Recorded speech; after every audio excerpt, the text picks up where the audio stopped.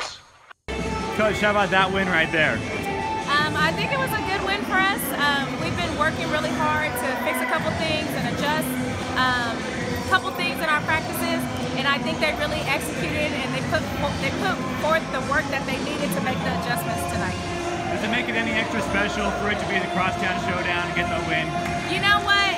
Honestly, I don't even know if we were really thinking that we were just we respect CBU. We know they're a really good team, and we were just like this is another opportunity to play. So I don't know if we really factored in the crosstown rivalry so much. Um, it was just more so we're playing against another good team. So let's let's try to execute. What do you guys have to clean up going forward? Say it again. What do you guys have to clean up going forward? We got to fix some things defensively. Um, I'm pretty sure number three got to the rim quite a bit. Um, so we work on that every day, and then just continuing to clean up our offense and, and adjust, make good passes. So Coach. Thank you so much and congrats. Thank you. Thank you.